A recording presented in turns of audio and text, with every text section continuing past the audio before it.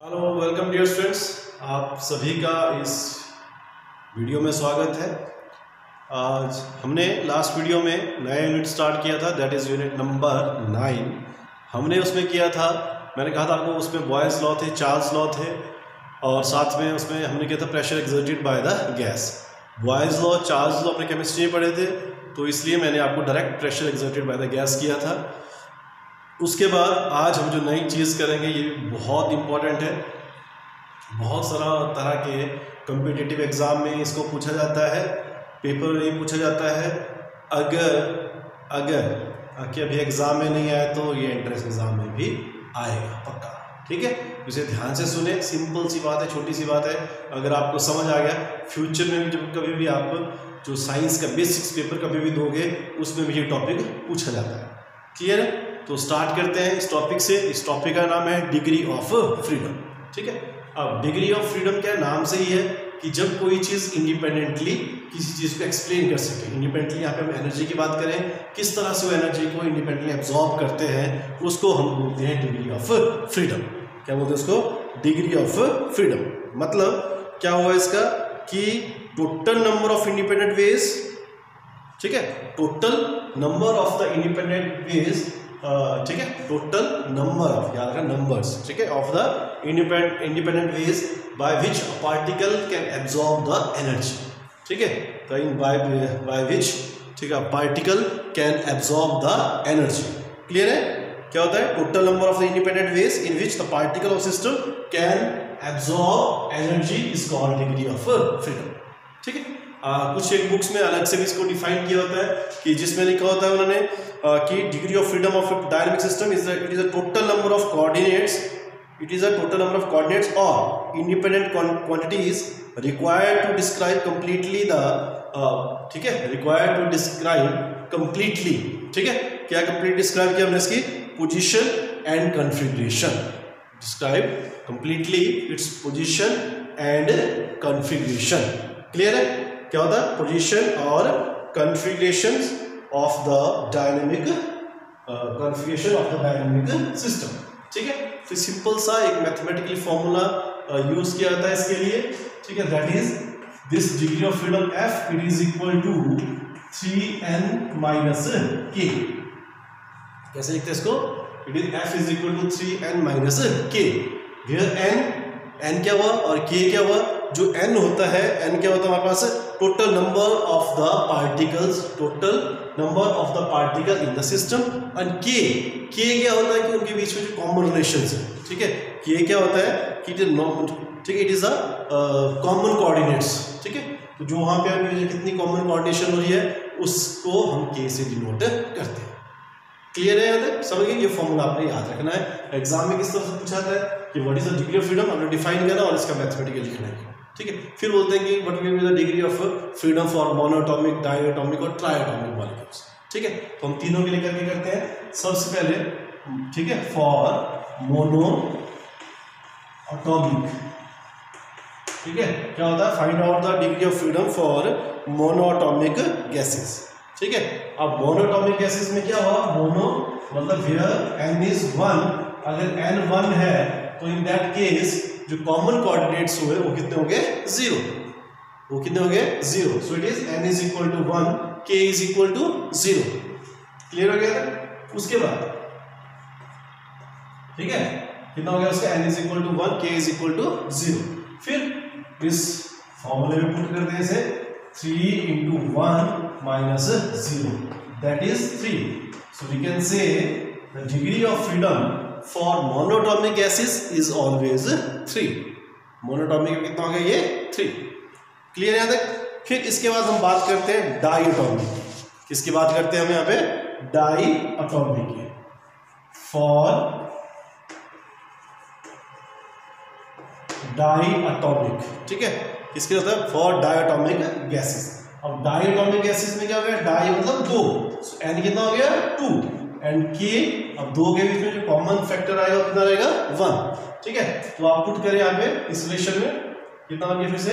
F is equal to three into two minus one that is three two the six minus one so it is five ठीक है? तो degree of freedom मोनोटॉमी के लिए कितना हुआ? Three और डायटॉमी के लिए कितना हुआ? फाइव डायटॉमी के लिए कितना हुआ ये? फाइव ठीक है? अब इसके बाद हम बात करते हैं ट्राइटॉमिक की। किसके लिए करते हैं हम? ट्राई अटोमिक ठीक है? थर्ड क्या था? ट्राई अटोमिक गैसेस ठीक है? अभी ट्राई अटोमिक गैसेस के दो पार्ट होते हैं। ठीक है? एक लीनियर ट्राई अटोमिक और एक नॉन लीनियर ट्राई ठीक है? लीनियर ट्राई लीनियर ट्राई मतलब इस तरह से तीन मॉलिक्यूल्स हैं they are arranged like this clear है? तो यहाँ पे क्या हो गया? Here n is equal to 3 and k. ये कॉमन क्या हो गया? K और ये कितना हो गया?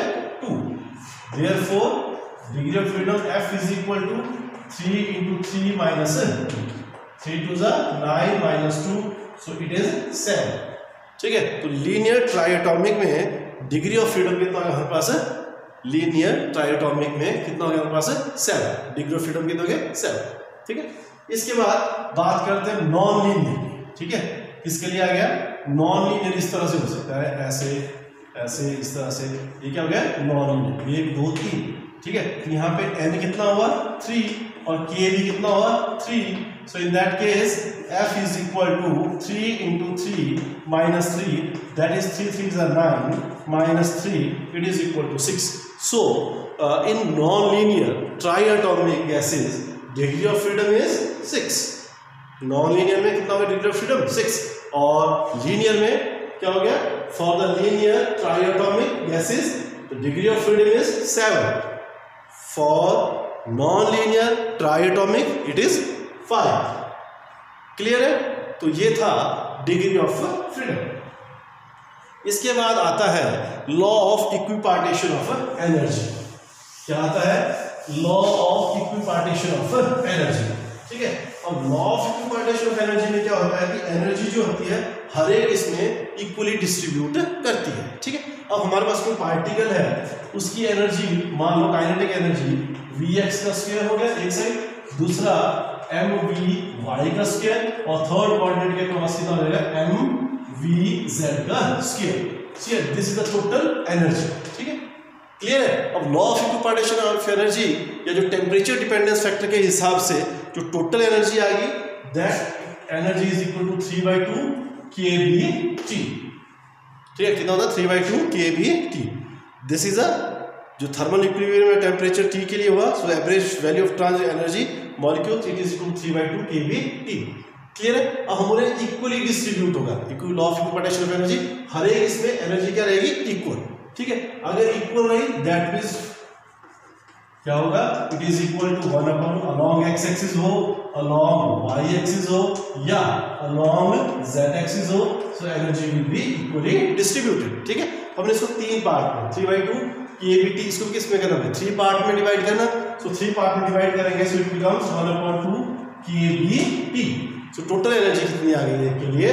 One upon two K B T ठीक है? तो ये किसके लिए हुआ? सिर्फ़ एक डिग्री ऑफ़ इसके लिए।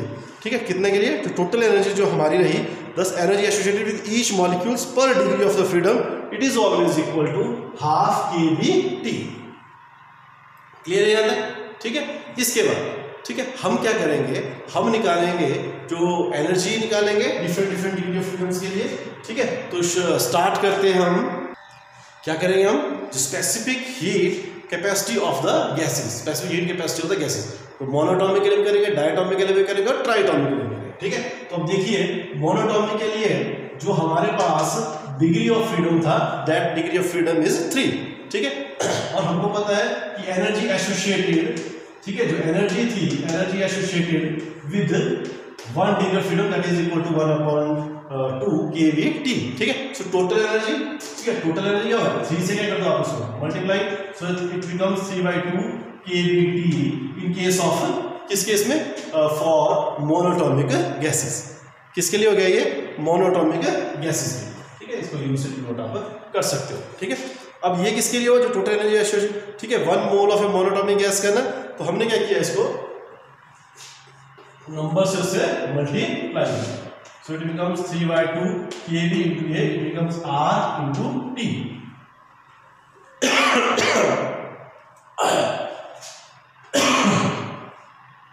Kb into this and it is equal to R. ठीक है? So energy is three by two K three by two R T clear अब मोलर स्पेसिफिक हीट निकालनी। क्या निकालना आपने? मोलर स्पेसिफिक हीट ठीक है एट कांस्टेंट टेम्परेचर ठीक है एट कांस्टेंट किसके लिए करना है? सॉरी एट कांस्टेंट वॉल्यूम आपने पढ़ा सीपी और सीवी हम पीछे किया था सो वो निकाले हमने सीपी और सीवी तो सीवी वाले केस में आ, कितना था? हम इसको क्या करेंगे? We will differentiate this with respect to T कितना बन गया हमारे पास ये? थ्री बाय टू आर कितना बन गया? Three by two R D T over D T so D T over D T क्या हो गया हमारे पास? One so it is three by two R ठीक है? अब क्या निकाला हमने? सी पी अब हमको पता है C P minus C B is equal to क्या होता है? आर क्या होता है? आर ठीक है? अब आप इसको साइड चेंज कर दीजिए C P is equal to C B plus R C B की वैल्यू कितनी होगी? Three by two R plus R ठीक है? अब आप इसका एलसीएम लें. So C P is equal to two three R plus two R कितना हो गया? Three R plus two R so it becomes five by two R clear है? और अब निकाले लास्ट में gamma that is CP over C B क्या होता सीपी ओवर सी बी तो सीपी कितना था? Five by two R upon three by two R R से आर कैंसर टू से two cancel so it becomes five by three कितना आ गया? Five by three one point six seven clear है? इसी तरह से आप मोनोटोमिक और ट्राइटोमिक के लिए भी कर सकते हो। समझ लो किस तरह करोगे? यहाँ पे मोनोटोमिक के लिए क्या था? थ्री, वहाँ पे क्या होगा? डायटोमिक के लिए। फाइव।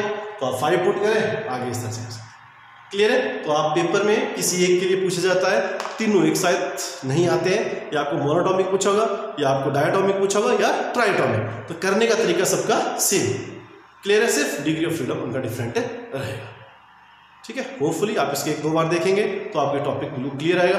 और ये फाइनल एग्ज़ाम टर्म एग्ज़ाम जिस तरह के भी एग्ज़ाम होते हैं, सभी एग्ज़ाम में ये आता है और ये कंपटीशन में जितने भी एंट्रेंस एग्ज़ाम होते हैं, वहाँ पे भी इसे क्वेश्चन पूछा जाता है। तो ये मोस्ट इंपॉर्टेंट वीडियोज़ है, इसे बिल्कुल ध्यान से देखें। So thank you very much अभी के इतना